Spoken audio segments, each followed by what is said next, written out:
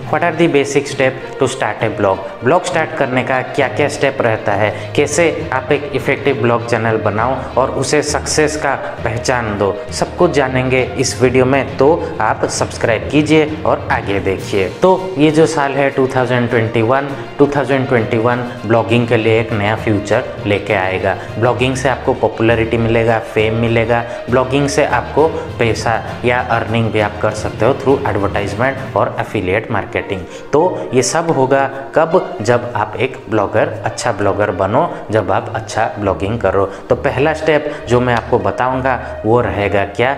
Find your नीच नीच मतलब क्या है? आपका टारगेट आप किस लाइन पे जाना चाहते हो? क्या आप बनाना चाहते हो? किसमें आपका इंटरेस्ट है? वो पहले आप फाइंड करो। ठीक है? मतलब मान लो मैं टेक्निकल एजुकेशनल वीडियो बनाता हूँ तो मेरा नीच वही है। ठीक है, कोई ट्रैवल के लिए वीडियो बनाता है, कोई बाइक राइडिंग का वीडियो बनाता है तो उसके लिए नीच वही है। बाइक राइडर जाके खाने बनाने का वीडियो नहीं बनाएगा।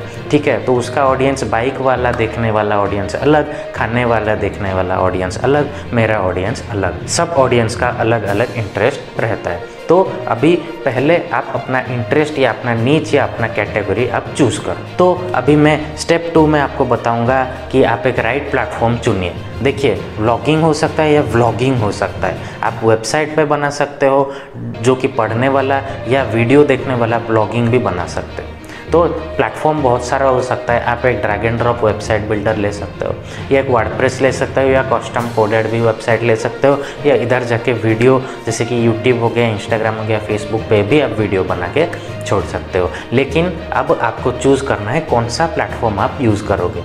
ठीक है? अगर एक वर्डप्रेस का वेबसाइट बना रहे हो तो वर्डप्रेस प्लेटफॉर्म आपको चूज़ करना रहेगा। तो पहले हम नीच सिलेक्ट कर दिए, क्या कैटेगरी पे हम लोग काम करेंगे। अब फिर कौन सा प्लेटफॉर्म पे हम लोग काम करेंगे, जिसमें हम अल्टीमेट सक्सेस तक पहुँच सकते हैं, वो भी हम लोग सिलेक्ट कर दिए। तो अगर आप एक वेबसाइट के तरह जाना चाहते हो, जैसे कि वर्डप्रेस हो गया कस्टम कोडेड हो गया या drag and drop website builder हो गया तो आपको चाहिए होगा एक डोमेन नेम और दूसरा चाहिए होगा होस्टिंग ठीक है डोमेन नेम आपको बहुत सस्ता डिफरेंट डिफरेंट सर्विस प्रोवाइडर से मिल जाएगा। वैसे ही होस्टिंग आपको डिफरेंट डिफरेंट सर्विस प्रोवाइडर से सस्ता मिल जाएगा। डोमेन का क्या है? डोमेन मतलब आपका एड्रेस या आपका नेम ठीक है, किस नाम से आपका वेबसाइट को बुलाया जाएगा? आप देख सकते हो ऊपर कि मेरा वेबसाइट का नाम है शुभम पंडा डॉट कॉम तो ये जो शुभम पंडा डॉट कॉम है, ये एक डोमेन नेम है। अब एड्रेस तो मिल गया, लेकिन वेबसाइट तो हम लोग बना दिए, उसको रखेंगे किधर?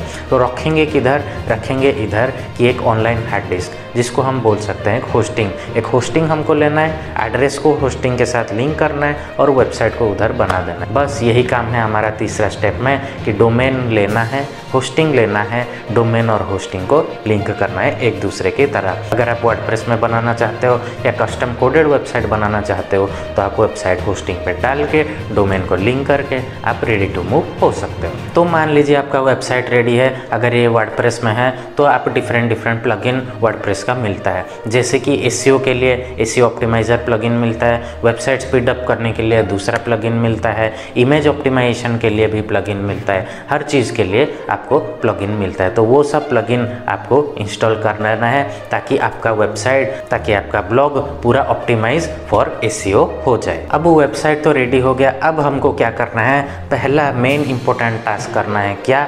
वो है हमारा कीवर्ड रिसर्च हम तो सिलेक्ट कर लिए एक पर्टिकुलर नीच हम तो सिलेक्ट कर लिए एक पर्टिकुलर कैटेगरी जिस पे हम लोग वीडियो बनाएँगे। लेकिन वीडियो क्या बनाएँगे? कौन सा टॉपिक ज़्यादा सर्च होता है? क्या ज़्यादा डिमांड में रहता है? अगर हम लोग वही डिमांड फुलफ़िल किए, अगर हम कस्टमर का, अगर हम व्यूअर का डिमांड फुलफ़िल करते हैं, तभी ही हम लोग आगे जा पाएँगे। तो डिमांड जानने के लिए क्या करना पड़ेगा? हम लोगों को कीवर्ड रिसर्च करना पड़ेगा। कीवर्ड रिसर्च क्या है? Research about the keyword that user search on the search engine ठीक है, लोग जो सर्च करते हैं, अगर हमको पता चल गया किसी भी मेथड से तो हम लोग वही सर्च टर्म पे हम लोग हमारा ब्लॉग बनाएँगे, ताकि लोग जो ढूंढेंगे, हम लोग वो देंगे तो अल्टीमेट कस्टमर सेटिस्फेक्शन होगा तो हम आगे जा पाएँगे, हमारा वेबसाइट आगे ग्रोथ होगा।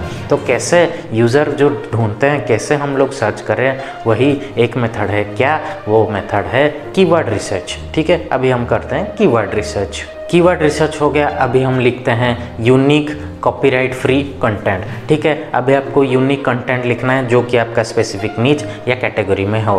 कंटेंट को आप किधर से भी कंटेंट में डाला हुआ इमेज आपको किधर से भी कॉपी नहीं करना है, हर चीज़ बनाना है आपको यूनिक अगर आपको कैसे पता चलेगा यूनिक है क्या नहीं, वो आपको एक प्लेगियरिज्म टूल मिलता है गूगल पे आप सर्च करके अपना कंटेंट उधर डाल के देखो, कितना परसेंट यूनिक है, कितना परसेंट कॉपी है, आप जान सकते हो उधर। यूनिक कंटेंट करोगे तभी ही आपका कंटेंट यूनिक होके तभी ही आपका कंटेंट आगे जा पाएगा। ब्लॉगिंग अगर आप करते हो तो। तो ये हो गया नेक्स्ट अगला स्टेप क्या करेंगे? अगला स्टेप हम लोग तो ब्लॉग बना दिए, लिख दिए कीवर्ड रिसर्च कर दिए। अभी हम लोग को जाना है कितना विजिटर हमारे वेबसाइट पे आ रहे हैं। तो उसके लिए सिंपल आप क्या करोगे? गूगल एनालिटिक्स इंस्टॉल कर दोगे। गूगल एनालिटिक्स इंस्टॉल करने के बाद आपको क्या होगा? कितना विजिटर आए?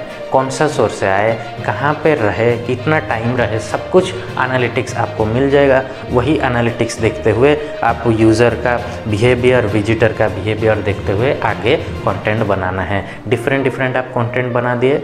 मान लीजिए एक ही टाइप का कंटेंट ज़्यादा चल रहा है, दूसरा टाइप कंटेंट नहीं चल रहा है तो आपको पता चल गया कि आपका ऑडियंस वही कंटेंट लाइक करता है तो अगली टाइप से वही कंटेंट बनाना है। सिंपल ये होगा। हेल्प अगर आप गूगल एनालिटिक्स इंस्टॉल करते हो। तो अभी आ जाते हैं कंक्लूजन पे। अगर आपको knowledgeable informative videos like this देखना है और ज़्यादा कुछ नॉलेज भी गेन करना है, आगे का वीडियो बहुत इंपॉर्टेंट है, वो भी आप देखना है तो आप चैनल को सब्सक्राइब करके मेरा दूसरा वीडियो भी देख सकते हो। Hope this video is helpful for you मिलते हैं अगली वीडियो में। Thank you have a good day bye bye